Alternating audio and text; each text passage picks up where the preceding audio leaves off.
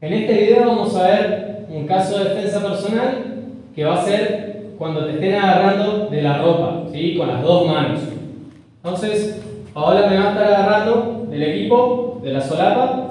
Yo lo que voy a buscar es tratar de, ¿sí? si ella posiblemente me esté agarrando como soqueándome o empujándome para llevarme contra una pared o algo, entonces yo lo que va a estar eh, con sus brazos fuertes, ¿sí? Eh, extendido. Yo lo que voy a buscar hacer es entrar con mis dos manos por dentro para empujar los brazos y tratar de generar una ah, flexión del codo, ¿sí? Y poder meter mis brazos por dentro. Entonces voy a hacer o como que estoy rezando o un doble puño para entrar los brazos por dentro.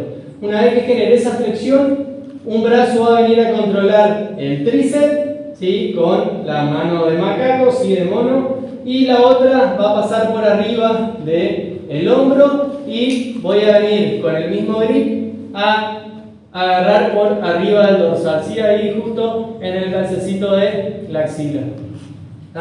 Esto va a permitir tener un control superior de Paola, eh, eh, que este de arriba se llama Koshiguruma, y una vez teniendo, eh, logrado este control, voy a hacer la rotación de base, pegando mi cadera con la cadera de pavo, le voy a cargar, generando una doble palanca con mis piernas, le cargo arriba de mi cadera y ahí genero la rotación para terminar de derribarla.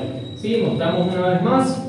Entonces, entro, abro, controlo, hago el cambio de base, le cargo a Paola y le derribo. Vamos. Dos.